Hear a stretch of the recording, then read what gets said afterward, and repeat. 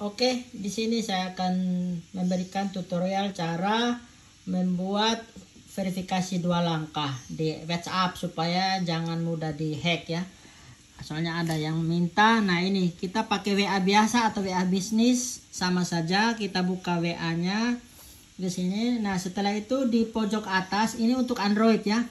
Di pojok atas kita klik yang gambar tiga nih. Nah, klik gambar tiga Nah, setelah itu muncul setelan seperti ini. Nah, setelah muncul setelan, pilih yang akun. Nih, ini sini, sini pilih yang akun. Nah, setelah itu pilih akun. Nah, pilih yang verifikasi dua langkah. Nih, diklikkan. Nah, setelah itu paling bawah ada aktifkan ya. Nah, di sini ada tombol aktifkan. Setelah itu kita klik tombol aktifkan.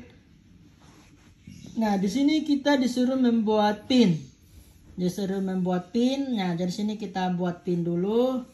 Nah, saya kasih contoh misalnya pinnya satu satu satu satu satu. Nah satunya enam kali. Ini hanya contoh aja. Nah setelah itu tambahkan alamat email. Akun anda yang digunakan untuk menyetor ulang pin jika anda membuat. Nah di sini kita boleh menambahkan email atau melewatinya juga bisa. Nah di sini saya lewati saja Nah, di sini dia bilang jika Anda tidak menambahkan alamat PIN, nah, apa Anda tidak dapat mendaftarkan nomor WhatsApp dengan WhatsApp. Jadi sudah saya lewatin aja bisa. Nah, setelah itu nih verifikasi dua langkah telah diaktifkan. Selesai. Nah, udah.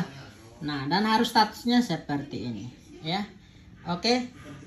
Nah, kalau kita mau menonaktifkan sudah bisa. Jadi kalau dengan cara begini paling tidak ada antisipasi kita untuk mengamankan akun akun kita.